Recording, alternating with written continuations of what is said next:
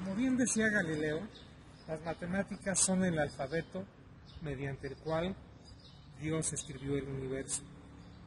Y les voy a mostrar con unas cuantas estadísticas lo que nosotros podemos conocer lo más cercano a lo que está sucediendo con el coronavirus. Acompáñenme, por favor. El día de hoy vamos a ver un par de conceptos en los cuales nosotros vamos a poder ver claramente cómo podemos, con base en unos datos reales, poder medir qué está pasando y poder sacar conclusiones lo más precisas posibles.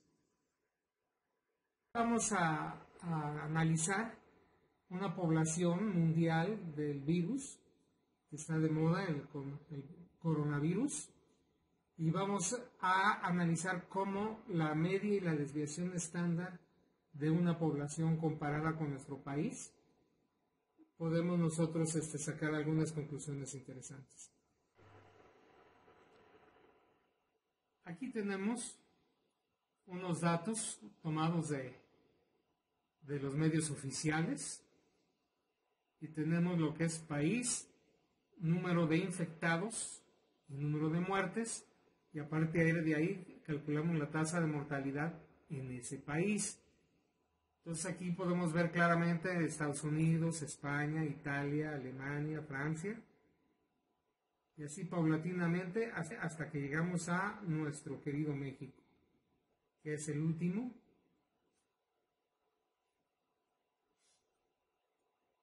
Estas cifras son del día jueves santo. tenemos 3.441 casos en nuestro país, 194 fallecidos y una tasa de mortalidad de 5.6%. Entonces, ¿qué hacemos nosotros? Con base a las fórmulas, ya sea de Excel o que las apliquemos, sacamos de cada uno cuál es el máximo, cuál es su mínimo, cuál es la media, cuál es su desviación estándar y cuál es su coeficiente de variación. Muy bien. Entonces, para el caso de hoy nos vamos a ocupar en la tasa de mortalidad. ¿Por qué? Porque en la tasa de mortalidad, que es una, división entre el número de muertos entre el número de infectados, nos podemos quitar el factor que implica eh, cuándo empezó, o si empezaron un mes después, un mes antes, o cuántos llevan, o cuándo se subió a la curva. Con eso yo nomás estoy estudiando la pura mortalidad. En el caso de Estados Unidos, 17.995 fallecidos entre 488.000 infectados nos da una tasa de 0.0368, o sea, 3.6%. Pero si vemos, por ejemplo, la de Italia, tenemos 0.1277, o sea, 12.7%. Igual aquí la del Reino Unido, 12.15%. Es muy alta. Inclusive, por ejemplo, tenemos aquí en Turquía un 2%, en Canadá un 2.5%, Brasil 5.29% y así podemos seguir, ¿no? Entonces, si yo quisiera ver, bueno, México, México tiene 5.64% o 0.0564. Ese dato es, es bueno, es malo. Yo sé que si pongo un medio, me va a decir que es pésimo y si pongo otro dato me va a decir que, wow, son los datos del siglo en México. Entonces vamos a ver la realidad.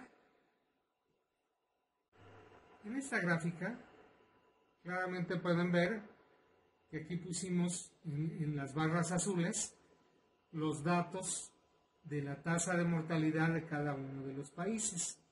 Y le estamos comparando con tres líneas horizontales. La línea de en medio, que es color naranja, implica la media, o sea, la tasa de mortalidad promedio de todos los países que incluimos en nuestra tabla que vimos anteriormente. En la línea gris, que es esta que está aquí que les estoy mostrando con el cursor, esta implica los, los datos que caen en la media menos una desviación estándar.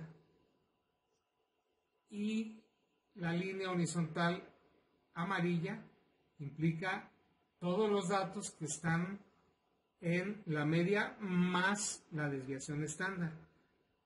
Este tipo de modelo se utiliza mucho también en control de calidad, de tal forma que, como pueden ver, aquí me saltan por arriba de la media, me saltan todos los países que presentan una criticidad muy fuerte.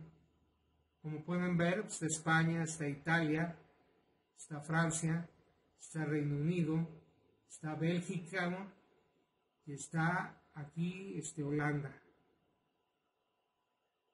Dentro, de estos yo los podría considerar como los casos atípicos. Aquí algo pasó, aquí se están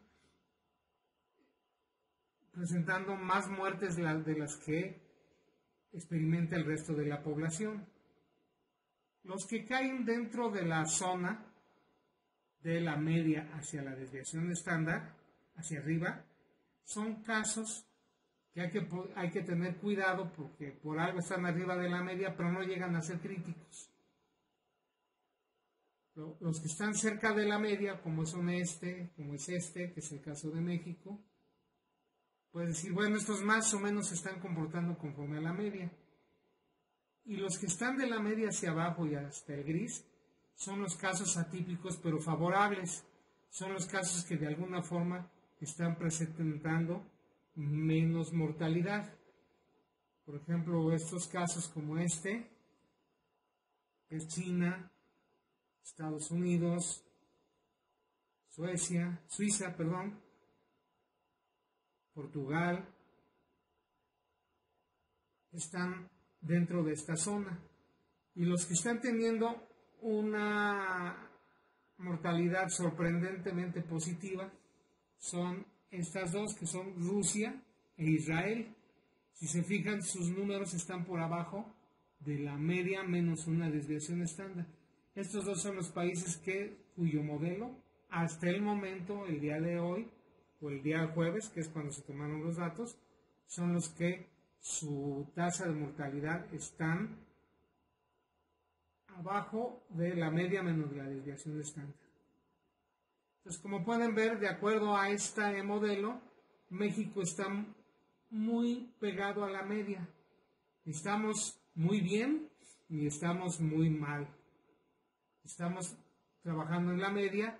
Digamos que si lo, comparamos, diríamos que nuestro caso es muy similar a este, que es Irán, o a este que es Brasil.